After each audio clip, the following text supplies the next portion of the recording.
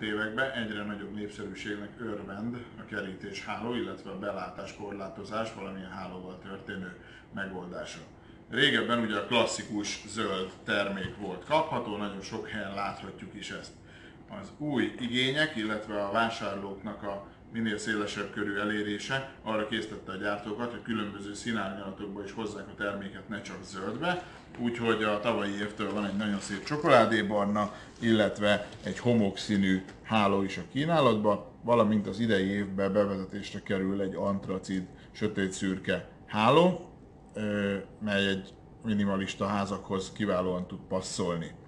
A terméket ugye rögzítjük a dróthálóra, ezáltal a dróthálón áttörténő belátás korlátozást tudjuk elérni. Többféle szövés típusban, átláthatósági százalékban vagy gram tömegben megadott háló van. Ugyan a videó nem jó, nem jó szemlélteti, de van 80%-os például és 95%-os. Ha kézzel tapintjuk, nyilván a 95%-os sokkal vastagabb anyag. Mind a kettő, hogyha szemből éri a napfény, akkor azért átlátszik, tehát a sziruettek látszanak mögötte.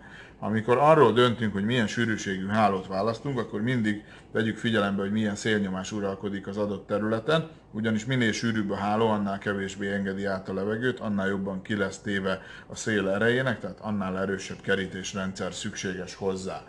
Nem csak kerítésre, hanem most már arra is figyelnek, hogy az erkélyeket, teraszokat is tudjuk hálózni. Vannak kimondottan ide készült hálók, ilyen például ez a Havanna, ebből is van csokoládé színű vagy homokszínű, amit magára egy, egy más szövés technikával, talán egy szebb dizájnnal rendelkezik, amelyet kimondott teraszokra tudunk föltenni.